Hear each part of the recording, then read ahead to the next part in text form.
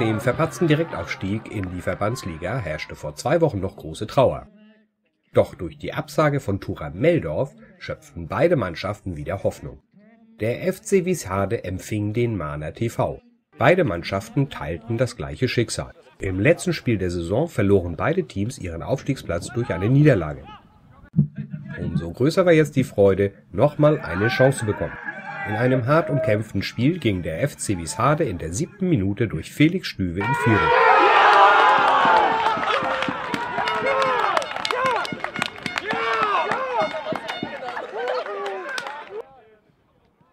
Trotz vieler Möglichkeiten auf beiden Seiten fielen aber keine weiteren Tore.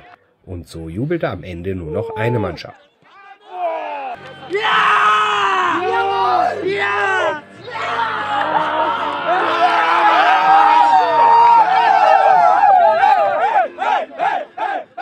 Herzlichen Glückwunsch, FC Wieshade. Und Kopf hoch, Maler TV.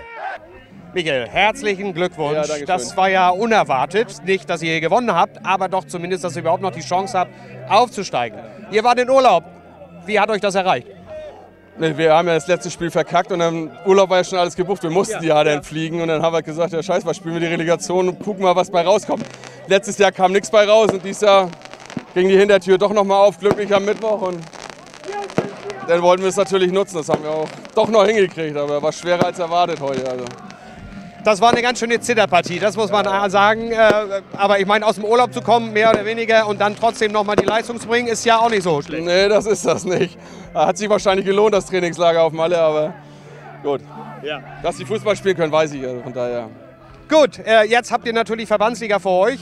Das heißt, neue, neue Herausforderung. Ja. Ähm, ihr hattet die ganze Saison, wart ihr auf dem ersten Platz. Und in den letzten drei Spielen habt ihr es vergeigt. Woran ja. hat es denn gelegen überhaupt, dass ihr in diese Relegation musstet? Also vergeigt haben wir es ja mit dem Spiel in äh, Schubi und, und gegen Friedrichsberg. Das waren die beiden Knackpunktspiele, die wir eigentlich nicht verlieren durften. Dass es zum Ende hin mit, mit hier äh, Großsold und Jüberg nochmal eng werden würde, war klar.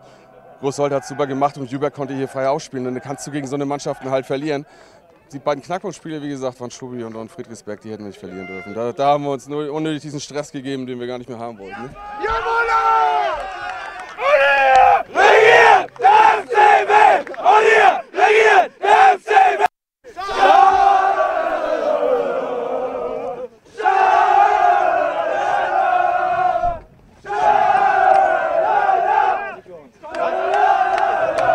Dennis, auch dir herzlichen Glückwunsch, auch der gesamten Mannschaft. Dankeschön, das war eine reife Leistung, bei dem Wetter äh, so einen Kampf abzuliefern. War natürlich echt eine harte Partie. Auf jeden Fall. Äh, was hast du am Anfang, das heißt vor der Partie, deinen Jungs mit auf den Weg gegeben? Also, nachdem wir am Mittwoch war ich so erstaunt über die Jungs, was die nach der langen Saison und dann nach unserer Abschlussfahrt letzte Woche auf Mallorca, was die am, am Mittwoch rausgehauen haben. Und vor dem Spiel war ich überzeugt davon, dass wir heute die Punkte holen oder die, die nötigen Punkte holen. Und das habe ich den Jungs auch vor dem Spiel mitgegeben. Ich habe gesagt, Jungs, genauso wie Mittwoch, nochmal 90 Minuten alle Körner einsammeln, die noch irgendwo, irgendwo im Körper zu finden sind und einfach fighten. Wir haben die zweite Chance gekriegt und die mussten wir nutzen und wir haben sie ja. glücklicherweise genutzt. 1 zu 0 für den FC Wieshade. Damit steigt FC Wieshade auf. Das war eigentlich das Ziel, weswegen du auch hier warst.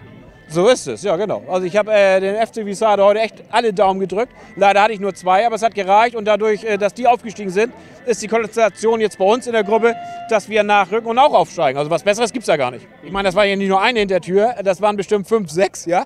Und ich meine, wir hatten diese Saison so viele Steine, die uns im Weg gelegt äh, worden sind, ja. Gott sei Dank haben sie jetzt alle weggeräumt, war ein bisschen, wie gesagt, auf Visade angewiesen.